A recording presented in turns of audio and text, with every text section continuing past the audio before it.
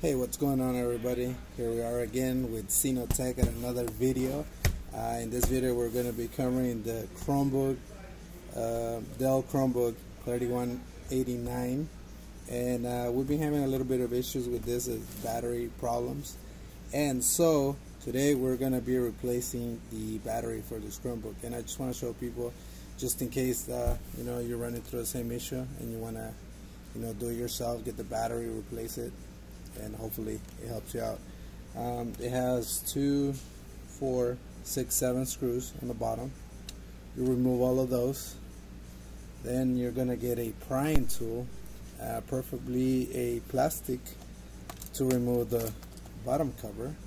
So remove the bottom cover. Then you get exposed to the battery and motherboard and all the other components.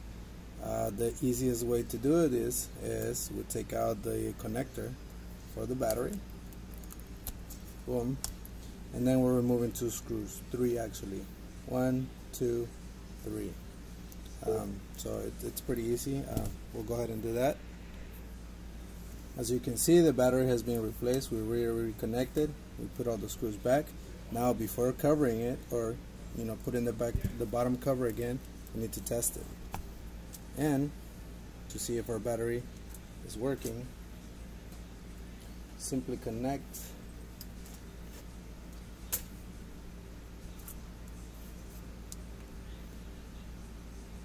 And turn it on or maybe actually we need some power.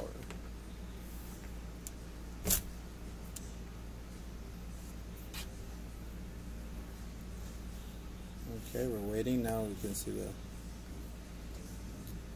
the Google Chrome logo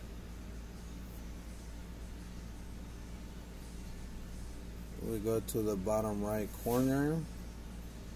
And as now we can see the icon is telling us that there's uh, 9 hours and 33 minutes till the battery becomes fully charged.